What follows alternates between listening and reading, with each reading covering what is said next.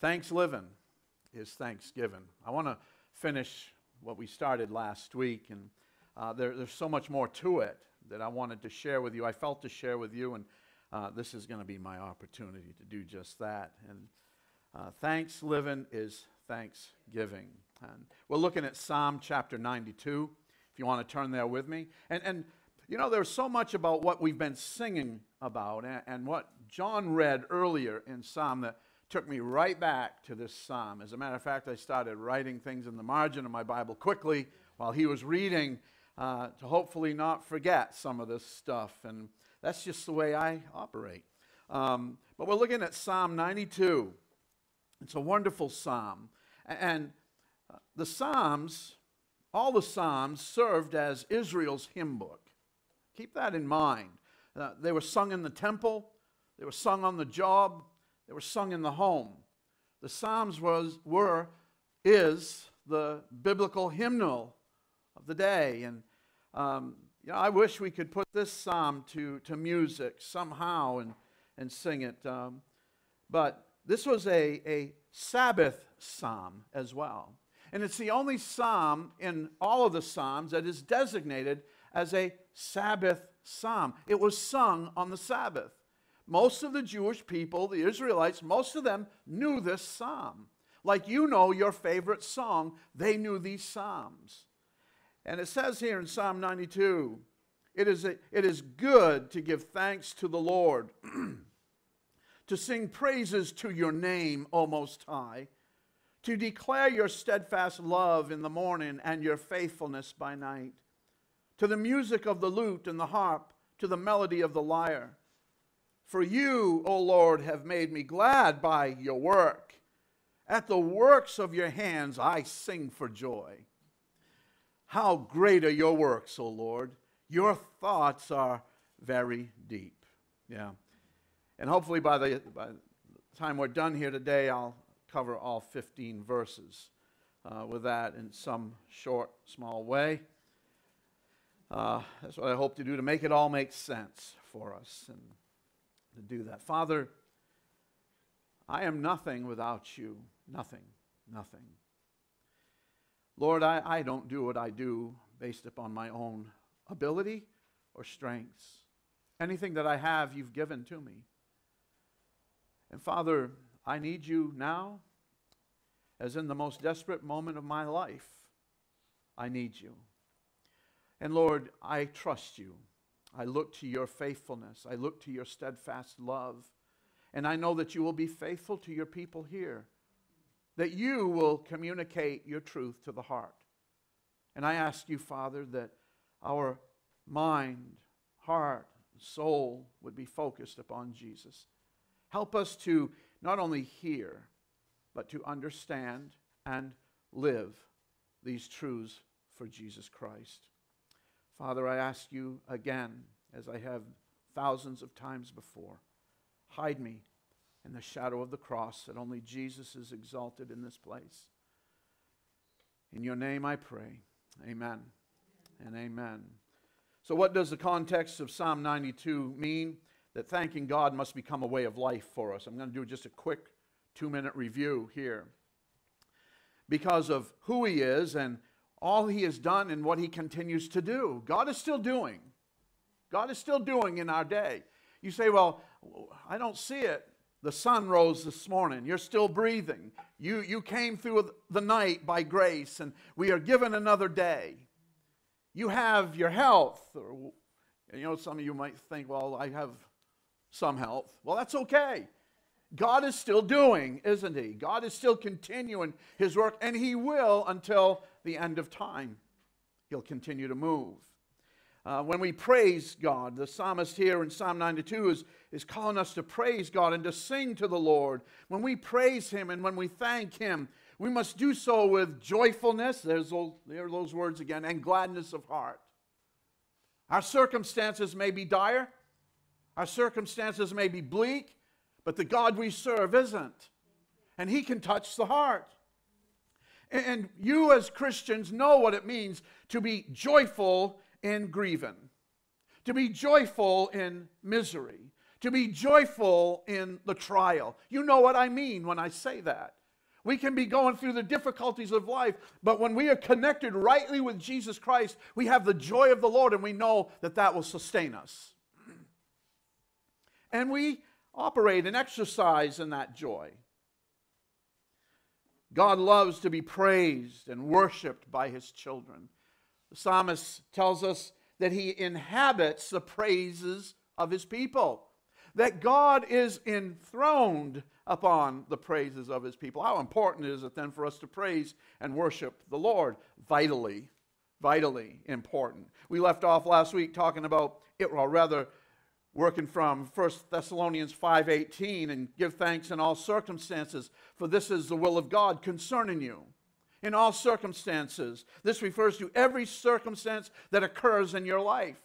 And we may be thinking about what's happened in our life. This can also mean what's going to happen in your life. How's that Not just what you've been through, but what God is going to see you through in the, in the future, today or tomorrow. We are to give thanks in all circumstances, for this is the will of God concerning you. No matter what struggles, no matter what trials or testings occur in the lives of Christians, with the exception of personal sins, we are to give thanks to the Lord. And we are to do so motivated, energized, fervently with joyfulness and gladness of heart.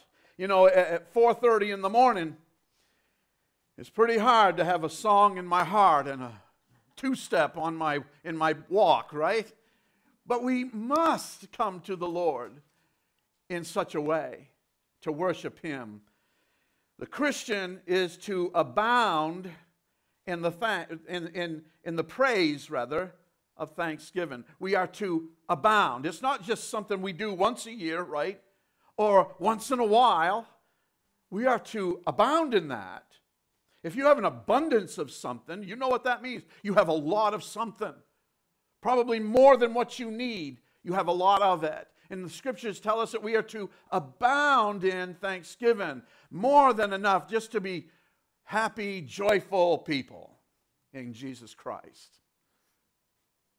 No? Okay, all right, all right. Stay with me now. All right. Stay with me here. Therefore, tells us in Colossians chapter 2, verses 6 and 7. As you received Christ Jesus the Lord, so walk in him. So walk in him. Follow him. Be an example to other people of what it means to follow Jesus Christ. So walk in him, rooted and built up in him, established in the faith. No, this takes you beyond the, the, the, what we consider a want of more faith to being established now in the faith, which says the faith we have is sufficient. God has given to each and every one of us a measure of faith, and it's enough. It's enough. We know that. The Word of God teaches us that. Jesus told his disciples, if you have the faith of a mustard seed, why, you can do just about anything, right? And he's saying the measure of faith that he's given to us is like that faith of a mustard seed. He says, established in the faith, just as you were taught. We've all been taught. Everything we know, we were taught by somebody else, right? Everything. Everything we know, we've been taught by somebody else. Just as you were taught, we, we come to the fellowship of the believers, we listen to the preaching and teaching of God's word here and at various other places to learn how to conduct ourselves as Christians, to live the Christian life. You know, someone who says, I'm a Christian, needs to be the example of Jesus Christ because Christian means Christ follower, right? We're to be the example of following Jesus Christ. You know, if, if I, I don't go to church, I want nothing to do with fellowship. Um, well, that's on Mondays. But if, if, if I want nothing to do with church, nothing to do with the fellowship of believers, uh, and, and I just want to live my life according to the dictates of my standards, I'm not a Christian. I'm not. Oh, nor am I an example of Jesus Christ. We're called to be an example of Jesus Christ. Just as you were taught, abounding in thanksgiving. The first thing out of the Christian's mouth, the first thing on our thoughts in the morning when we get out of bed, and probably the last thing should be on our minds when we go to sleep at night is thanking the Lord. Thanking the Lord praising the Lord. Have you ever woke up in the morning and right out of the clear blue you're, you're singing a song, worshiping the Lord? You know, none of that ACDC stuff, you know. We're singing praises to the Lord, you know. If I hear someone mention even the words of a song, somewhere in my psyche, I'm going to sing that song. You know, it is a good thing to, to give thanks unto the Lord. All these songs that we were singing, man, you ought to take that insert home and put it where you can see it all the time. We are to abound in thanksgiving. And, and, the Christian can be thankful in all circumstances for the overarching principle that we find in Romans 8 28, right? Right? Yeah. Which assures us that God is at work for good in the lives of his children. And it tells us in Romans 8 28, and we know that for those who love God, all things, everything, all circumstances, everything works together for good for those who are called according to his purpose. You know, if God is working in you all things for good, that means that you belong to him. That's a good mark of ownership. You're a child of God. God is working all things together for good to those who love Him, to those who have been called, the effectual, eternal call to salvation, those who have accepted Jesus Christ, and are a child of God. God is working all things together. And again, in Psalms 34 1, it reminds us that in all circumstances we can give thanks, praise, and worship to the Lord. I will bless the Lord at all times. His praise shall continually be in my mouth. Now, let me ask you a question. Don't raise your hands and don't blurt out an answer for Pete's sakes. Embarrass yourself. How many of you lived that verse of Scripture this past week? I will bless the Lord at all times. I was doing good until a guy came crowding me. I couldn't even see his headlights, right? I, I was doing good until someone didn't say, Merry Christmas and thank you for shopping. I know, I'm being a little facetious here, but you'd be amazed at how many Christians get hung up on that stuff. Really embarrassing. It is. How many of you could say that this week? So you couldn't, maybe in every situation, but today's today and tomorrow's tomorrow, and we can say that now. I will bless the Lord at all times. His praise shall continually be in my mouth. In the not just on the mountaintop. Oh, don't don't give me that. Come on. Anybody can praise God on the mountaintop right? When things are going good, all is right, all is true, and nothing is going to interfere, we can praise the Lord. I'm with you, but wait a minute, we have to descend into the valley now. Then we're tried. Then will we say, I will bless the Lord at all times.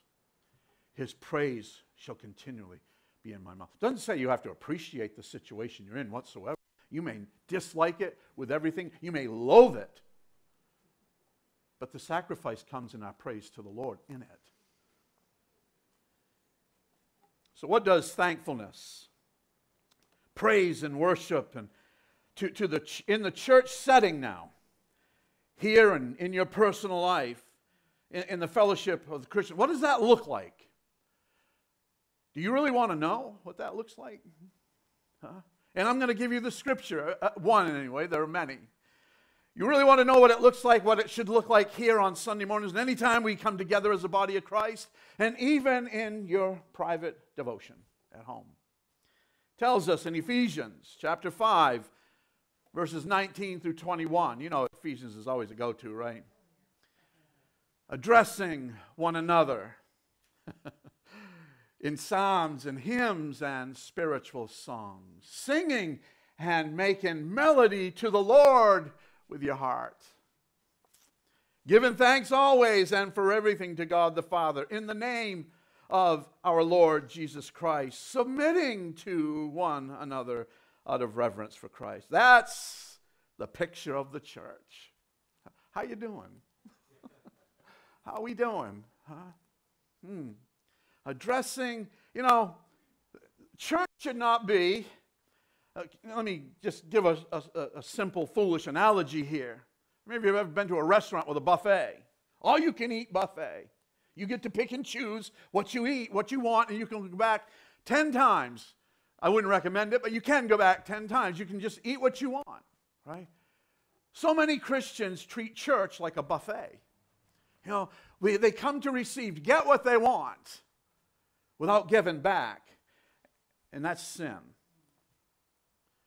Here's what we are to do we are to encourage one another, to be an example of following Jesus Christ to one another. That means loving people unconditionally. Because you, as a child of God, know what knows what it means to be loved unconditionally. We are to love one another unconditionally. We are to encourage brothers and sisters in Christ. It tells us here, addressing one another.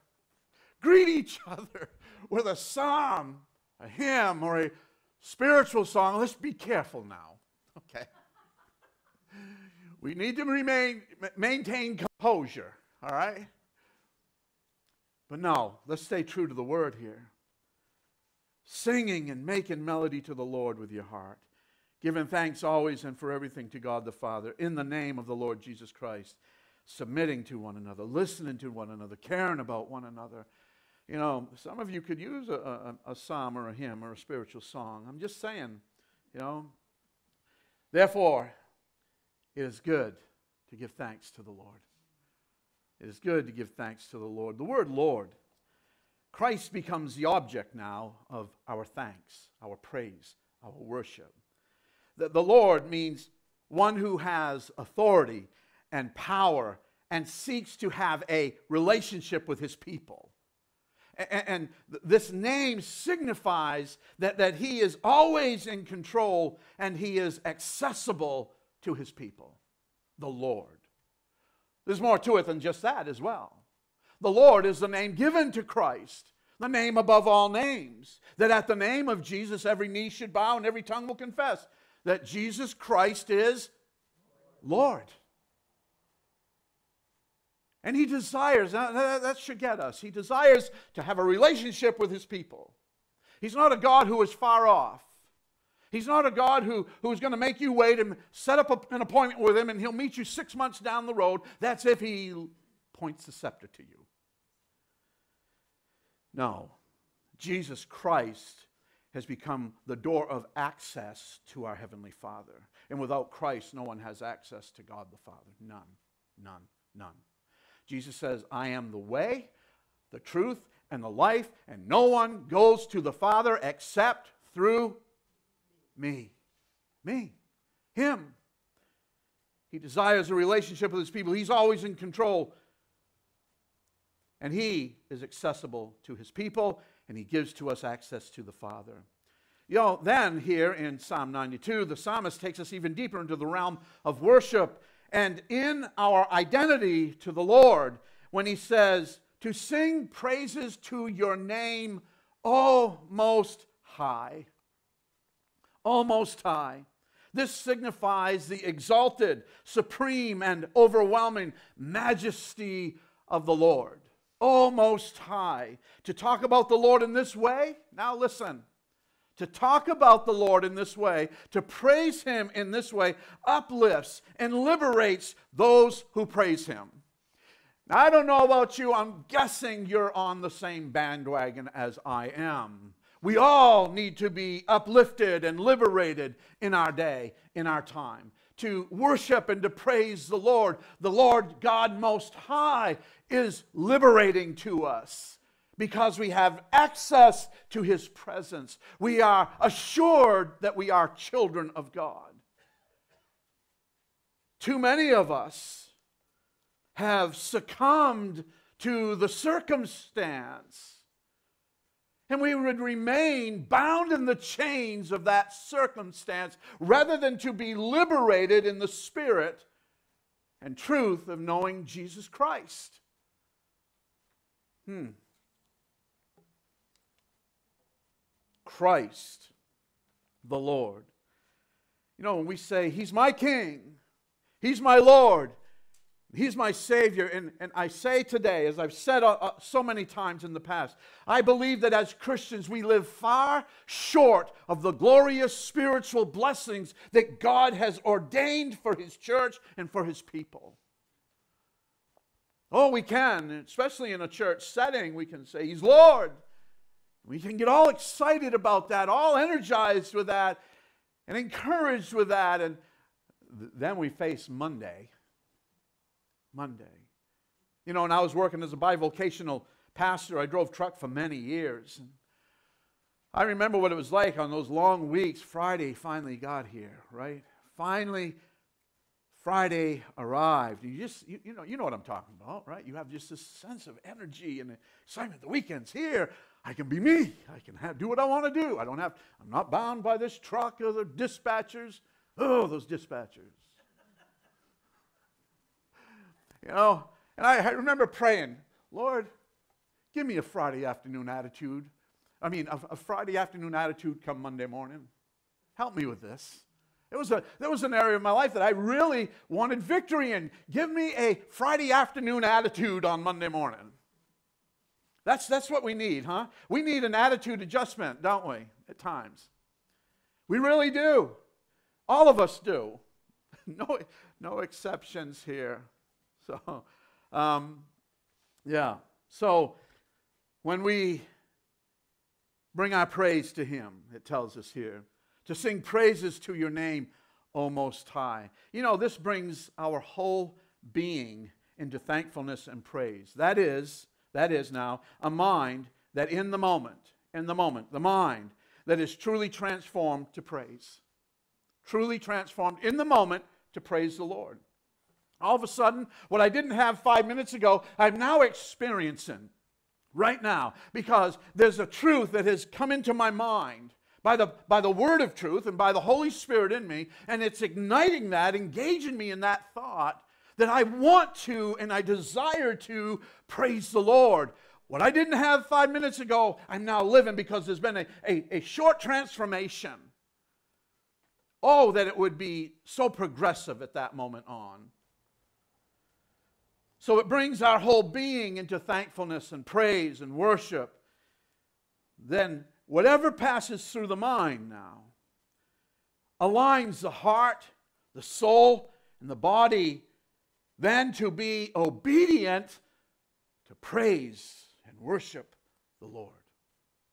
You think about that for a moment. And I've said it last week, I'm touching on it again. The mind. Everything travels through the mind first. You can't believe the Word of God without hearing it and believing it here. And then the Holy Spirit roots it in our heart and our soul. We begin to live it. Hmm. And then in that moment, I believe, even though they're sporadic moments, we want them to be a continuum. They may be sporadic in the moment, we realize that, and it's our heart's desire then to find that medium, that steady in following Christ. That we always are always. Have you ever had moments in prayer where it's just been exuberant, just you and you and Jesus, you and the Lord? You've had a wonderful experience praying, and you're even singing. Singing. How many of you sing when you pray? Huh? No? Well, I can tell you right now. You're already missing this first verse, all right? you got to get with the program. um, and, you have those wonderful moments. The, the word, you just read the word and it just jumps all over you. Then there are other times where you have to get up and walk around to stay awake. You know, you read the word and you read the word and you read that, that, that verse over and over and over and over and over again. You still can't get it yet. Those, those times, they're like that. We're like that. Hmm.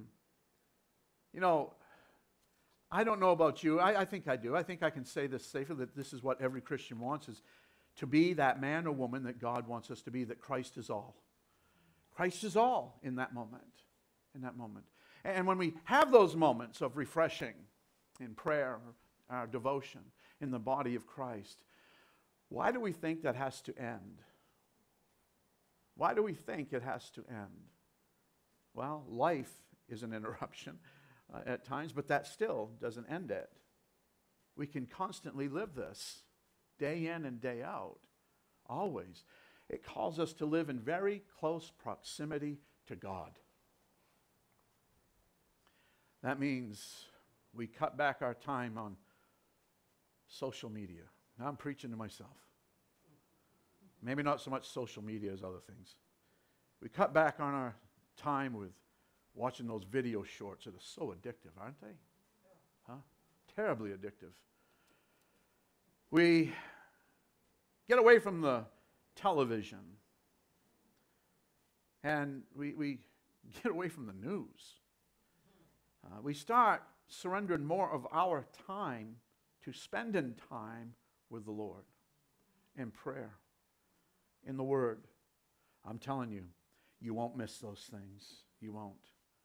You know, let them complain. You didn't answer my text last night. I tried to reach you on PM. Yeah? Well, you have more important things to do now, right? Because this is all about kingdom stuff here we're dealing with, right? Yeah. you know, when we give the good thanks to the Lord and sing praises to the name of the Most High, it is then we realize the truth that in every circumstance, praise lifts us from the misery and weariness of our sin, affliction, and trial, and it gives to us focus and perspective. It is then that we will sense experientially now the pleasure of God. The pleasure of God. Have you ever sensed the pleasure of God on your life? Huh? Eric Liddell, the great Olympian in the 1920s, he was a fast runner, very fast runner. And he wouldn't run on Sunday in the Olympics. And he lost one of the meets because he wouldn't run on Sunday. That was the Lord's day. And he told his sister one time, he says, When I run, I sense God's good pleasure because he has made me to run. Oh, that we could say that in serving the Lord, right? Now, God has ordained you serve him. How do you approach that? With pleasure?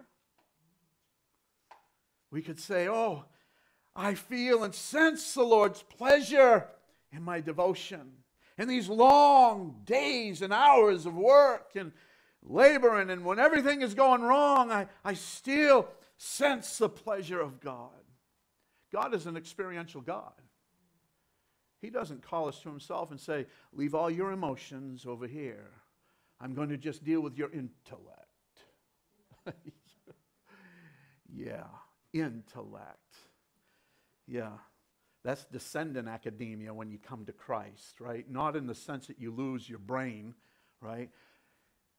God has to deal with us in our intellect because oftentimes we think that we can figure God out and we know what God wants and we devoid ourselves of faith and trust ourselves. You can't do that. You can't do that. God is an experiential God. He touches our emotions because He touches our mind, our heart, our soul, our bodies, our very beings, everything about us.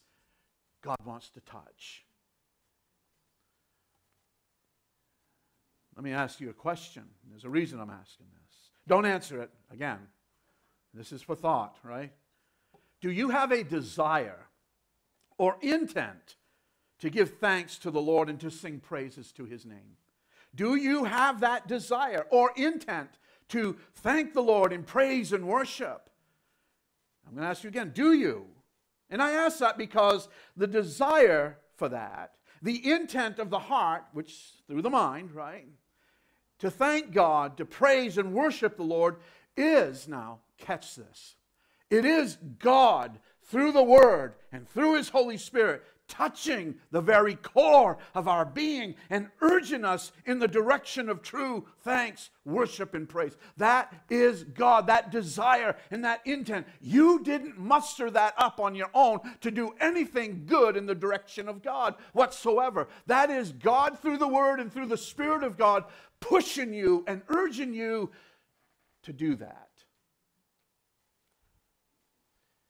I, you know, you, you got to believe that. Because that's the word of truth. There's nothing good in me to bring to God whatsoever.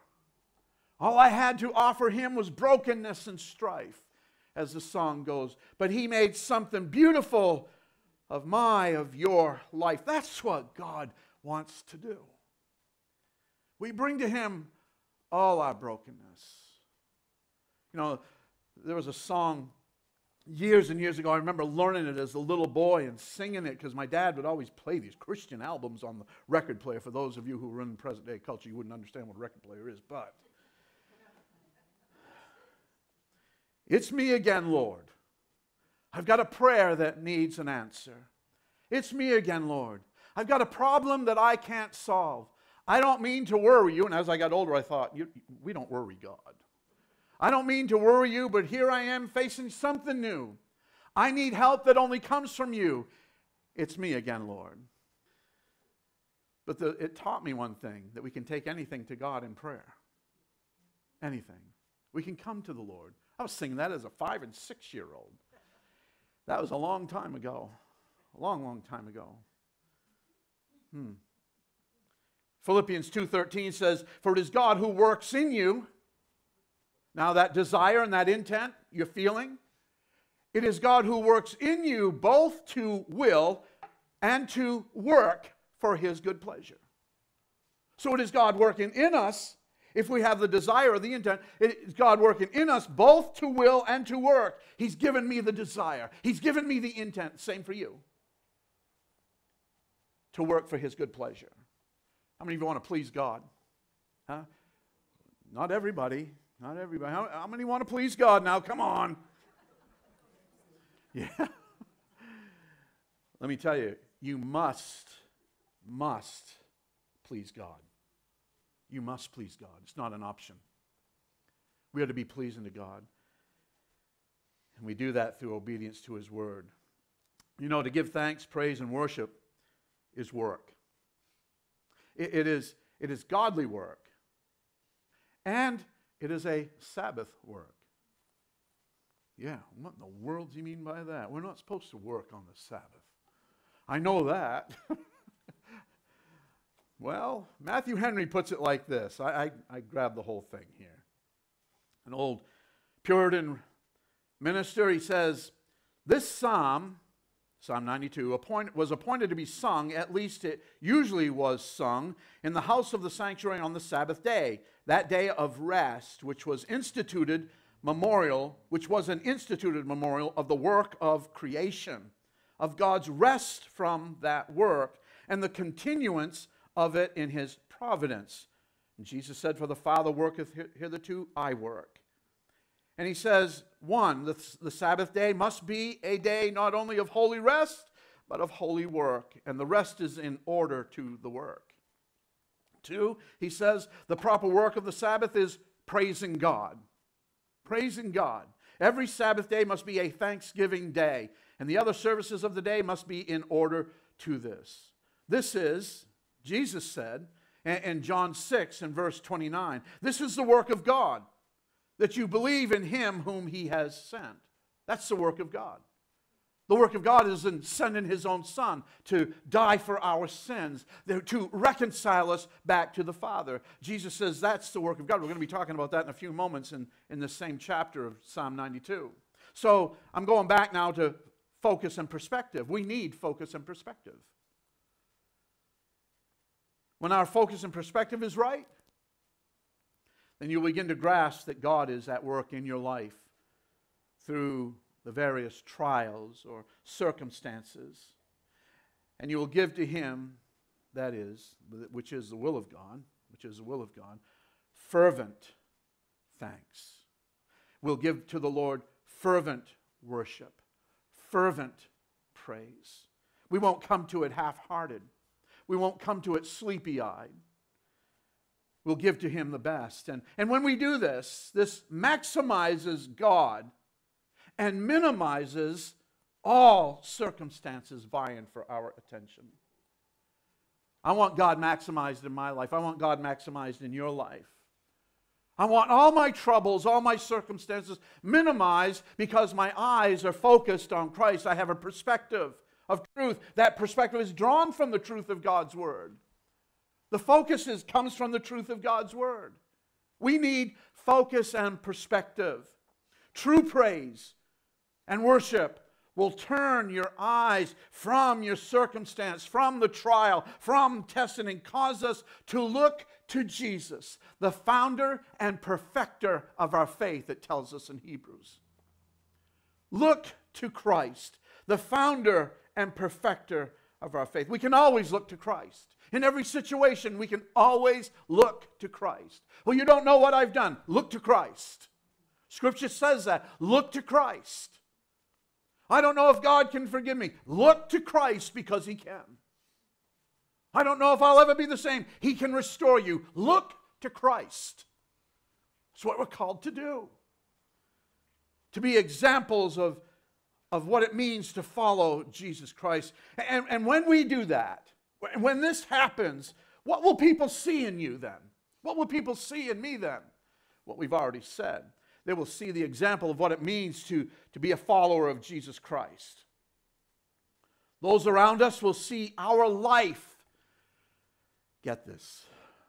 Our life defined by Jesus Christ and not defined by our circumstance. Be the example of Christ. We must stop allowing our lives to be defined by our past. That's a trap of the enemy, by the way, to blind you, to hinder you, and to keep you from following Jesus Christ the way we should be following him. Hmm. Well, let me, I'll close with this. If we cannot see beyond our circumstance, if we can't, then can you truly bring thanks and sing songs of praise with joyfulness and gladness of heart to the Lord? You know the answer. No. No, we can't. We can't. We need to surrender those things to Him, huh? Well, I guess I'm not going to finish all 15 verses. I guess I'm not. A life rooted and built up in Him, established in the faith, and abounding in thanksgiving, praise and worship, that is, is a life with focus and perspective. You will be a fruit bearing branch for God. You can read about that in John chapter 15. Hmm. Oh, yeah, okay. One more question for you and I'll close. All right? I'm sorry. I know. Some of you just, oh, he's done. No. Oh.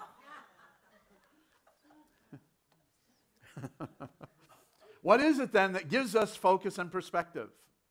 I want to give you this answer. The answer is this to whom we are thankful and what we praise and sing about. To whom we are thankful and what we praise and th- sing about. That's how we gain focus and perspective. To declare, the psalmist says in verses 2 and 3 of Psalm 92, to declare your steadfast love in the morning and your faithfulness in the night, to the music of the harp and melody of the lyre, the lute and the harp and the lyre. So, our focus and perspective is on Christ being the object of our thanks and our praise. And we sing to Him. We sing about His steadfast love. We sing about His faithfulness. We declare it. We declare it.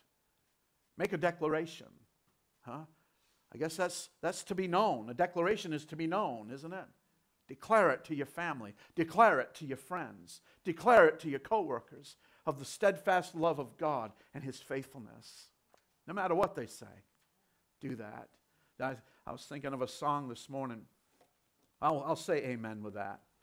Amen.